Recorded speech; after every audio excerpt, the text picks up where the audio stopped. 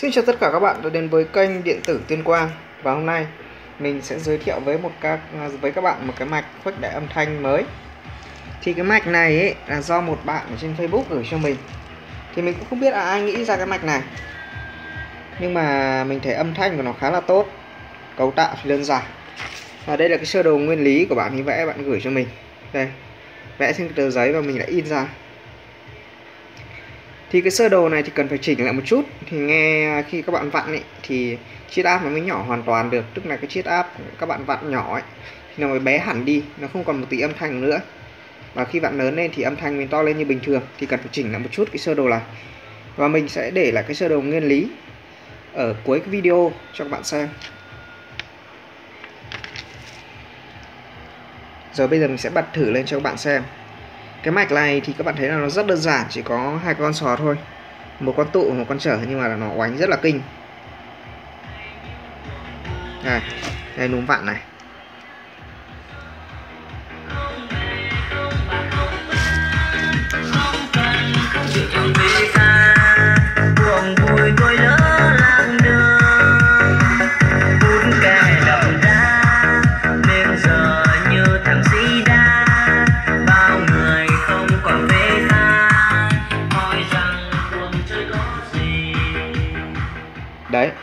Mình à, đang kéo cái con à, bát 20 của mình.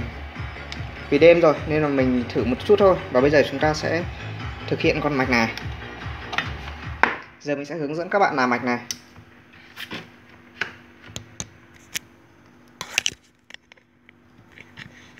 Đầu tiên các bạn cần chuẩn bị là hai con B688 và D718 mỗi lại một con.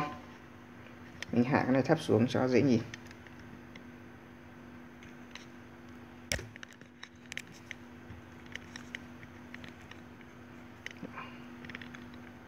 Rồi, đã setup xong. Nguồn này thì chúng ta chỉ sử dụng nguồn 12V thôi. Các bạn có thể sử dụng trực tiếp nguồn 12V của Acqui ok. Thì nó chất lượng âm thanh, hệ số khuếch đại ra thì mình thấy nó cũng khá là ổn. Ngay trong phòng mà cái yêu cầu không quá to thì nghe nó được. Mạch này thì nhược điểm của nó ấy là không có mạch chỉnh bát check. Còn cái nhiệt độ nó tỏa ra thì mình thấy nó cũng bình thường. Với cái nhiệt độ là hơi ấm ấm ở sò cánh tản nhiệt này thì sò nó có hoạt động lâu dài được. Bây giờ mình sẽ gỡ tung nó ra để hướng dẫn các bạn cách đấu đối.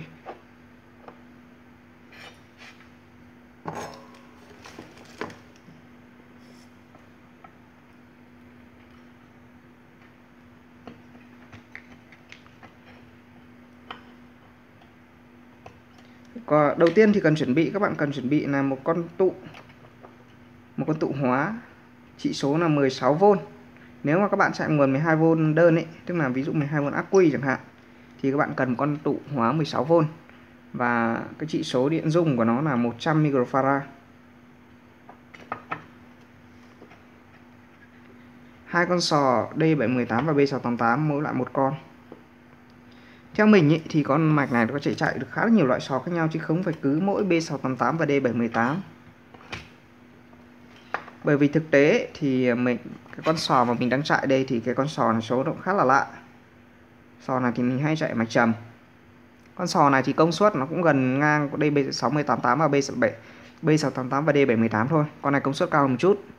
Và mình cũng đã từng, nói chung là thay thế hai cái loại sò này cho nhau B688 và D718 thay thế cho cặp sò này. Thì mạch đó cũng chạy bình thường. Tức là ví dụ sò là chết thì mình thay B688 và D718 vào, mạch vẫn chạy bình thường thì mình thấy là hoàn toàn hai loại sò này có thể thay thế được chân cho nhau.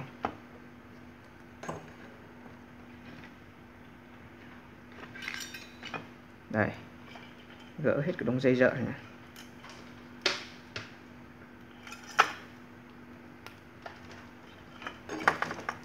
Đầu tiên là các bạn sẽ hàn cho mình một con chiết áp như thế này.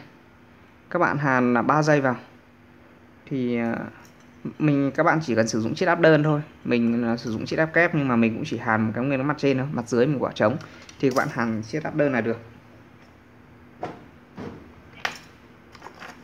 Các bạn hàn 3 dây vào như thế này. Cái dây đầu tiên ấy, thì mình để dây màu đen, bởi vì cái dây này mình sẽ nối mát, nên là mình để dây màu đen cho nó dễ nhớ. Sẽ hàn nó vào.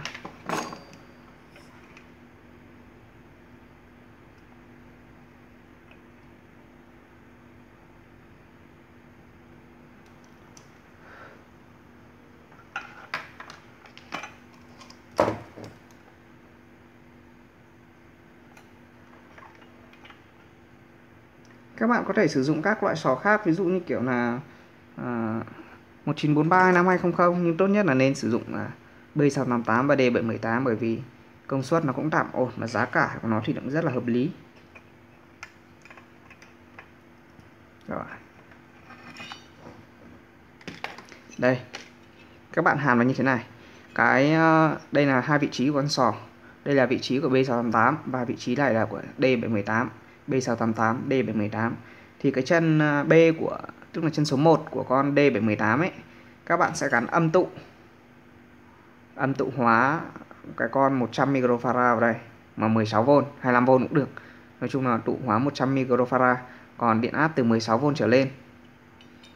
Và cái đầu này chúng ta cũng sẽ nối vào một con điện trở 100 kilo ohm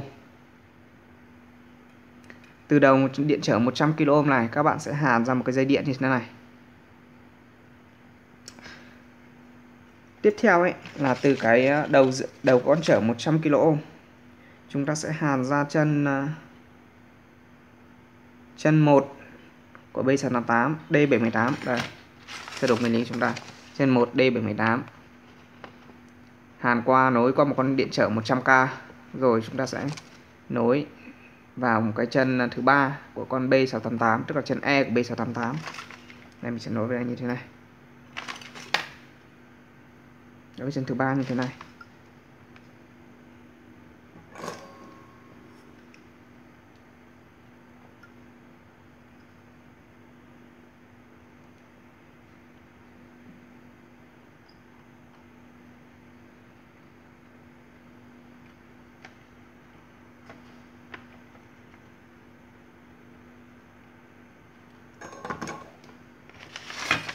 Tiếp theo là các bạn sẽ nối ờ, cái chân ờ, C, tức là chân số 2 của D718 nối với chân B của B688 tức là chân số 2 của D718 nối với chân số 1 của B688 đây, các bạn thấy nó vào.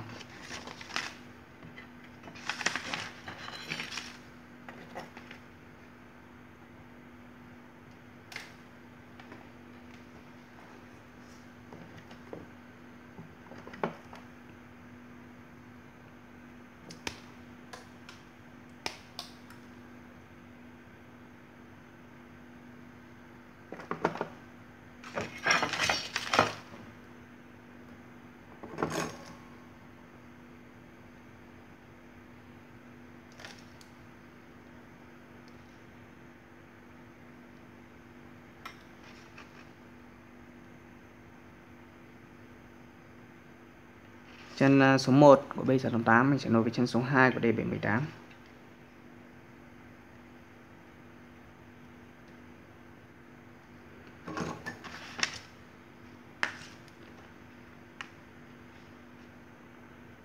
chân số 3 tức là cái chân à, E của D718 mình sẽ nối với chân C của B688 tức là cái chân số 3 chân số 3 của D718 mình sẽ nối với chân số 2 của B688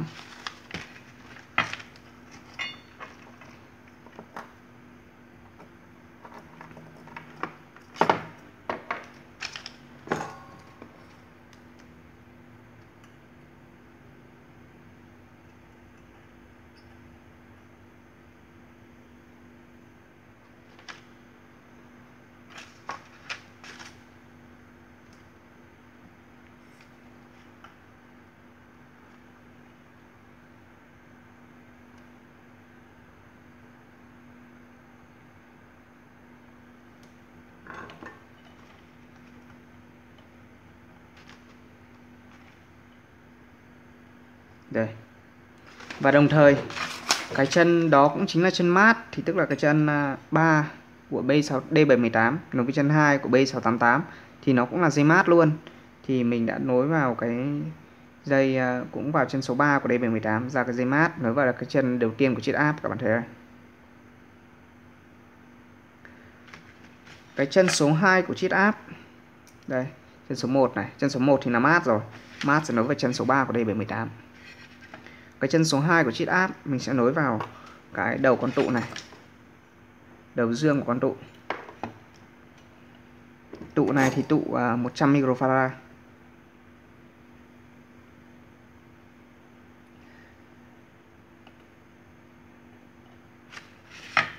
Cái dây đồng một nõi này hàn hơi bị khó.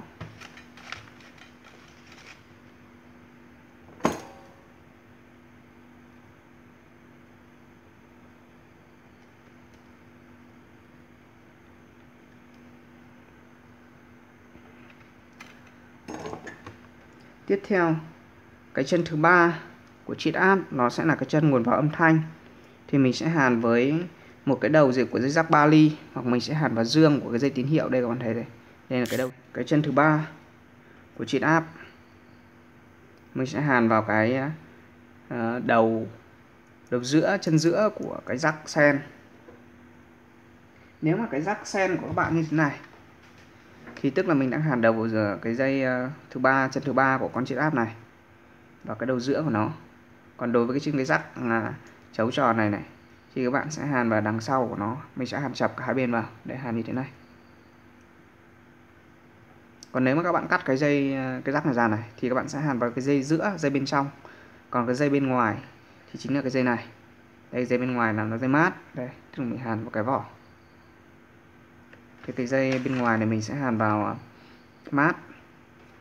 Hàn vào mát thì mình sẽ vẫn hàn vào cái chân số à, 2 hoặc chân số 3 chân số 2 của sò D77B688 hoặc chân số 3 của sò D6 D718 đây, chân số 2 của D7 B688 nó về 3 D718 thì mình sẽ hàn vào đấy. Hàn vào bên nào cũng được, đây, hàn chân này hoặc hàn vào chân này. Mình sẽ hàn vào bên này vì bên này đang thoáng.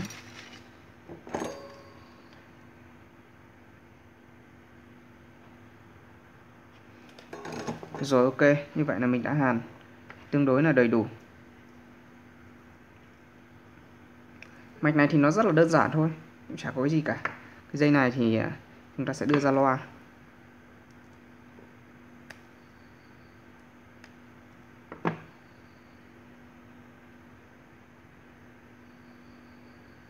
À chúng ta còn thiếu một cái dây nguồn nữa. Bây giờ mình sẽ kiếm một cái sợi dây. Để làm dây nguồn.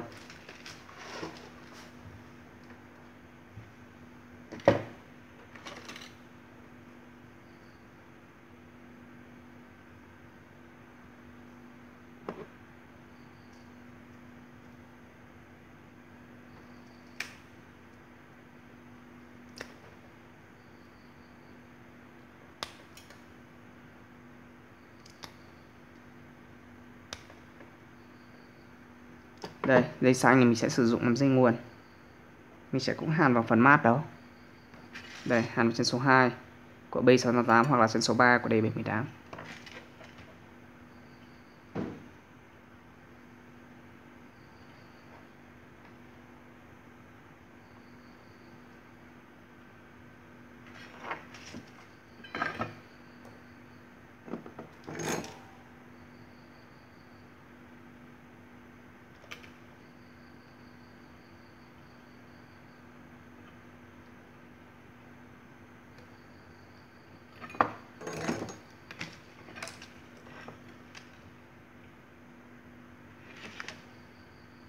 Rồi ok, bây giờ là các mạch của chúng ta đã hoàn thiện xong.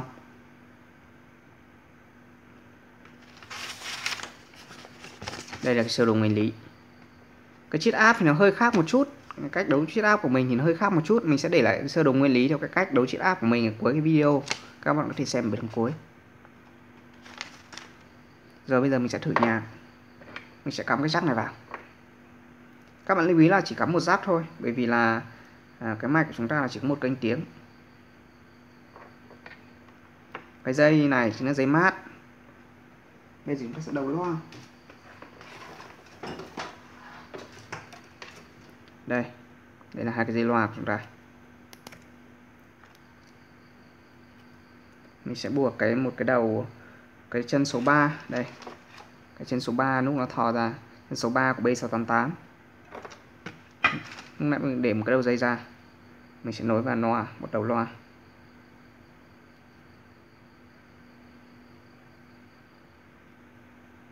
Còn đầu dây còn loa của loa thì chúng ta sẽ đưa ra dương nguồn. Dương nguồn chúng ta sẽ là dương nguồn 12V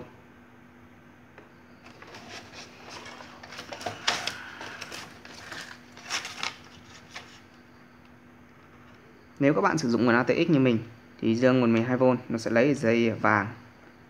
Và âm thì nó sẽ lấy dưới mát là dây màu đen.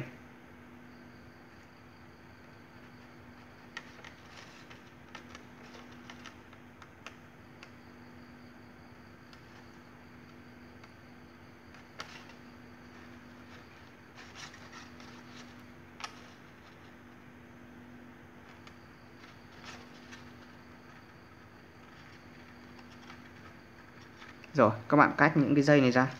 Kẻo bị chạm chập. Giờ bây giờ mình sẽ thử nghiệm mạch của chúng ta.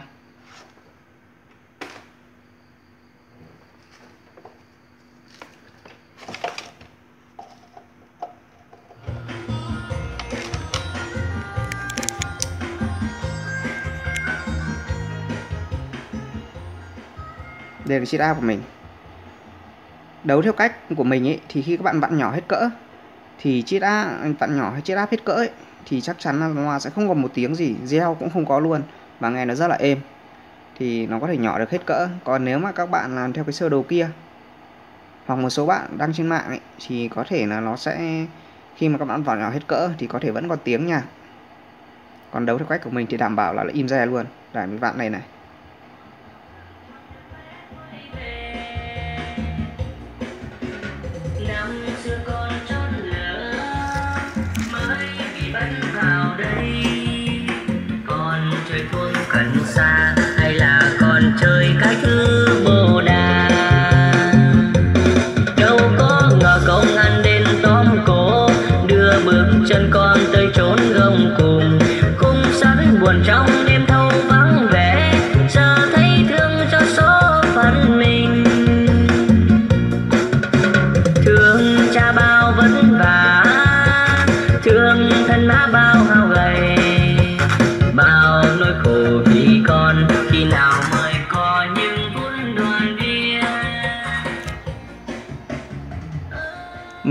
Thì theo cái chất lượng âm thanh mình đánh giá ấy, thì chất lượng âm thanh nó ra khá tốt. Tuy rằng là không chỉnh được bát check nhưng mà âm thanh nó ra khá tốt.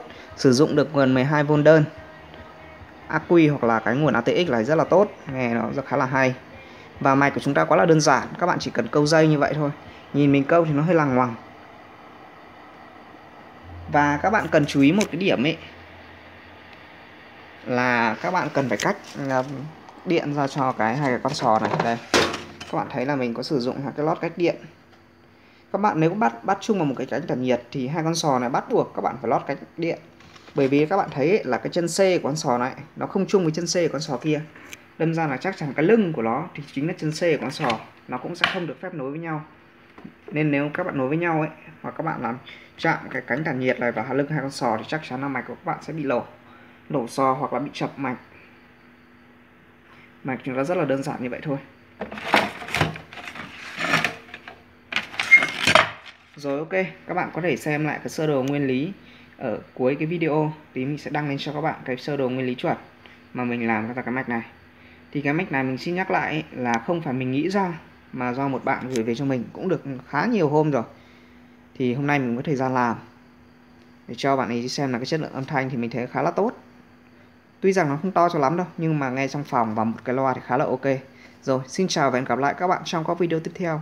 Nếu các bạn thấy hay nhớ ấn like và chia sẻ. Và các bạn nào có những cái mạch đơn giản như thế này mà các bạn ờ, cảm thấy đấy mà các bạn nghĩ là nó có thể chạy được ấy, thì các bạn có thể gửi về cho mình để mình test cho thì linh kiện của mình, bên mình rất là nhiều. Các bạn thấy là linh kiện của mình thì cực kỳ nhiều luôn. Nói chung là cơ sở vật chất là khá là đầy đủ. Nhưng mà dạo này mình không thời gian mấy nên là ít ra mạch. Rồi ok. Xin chào và hẹn gặp lại các bạn trong các video tiếp theo.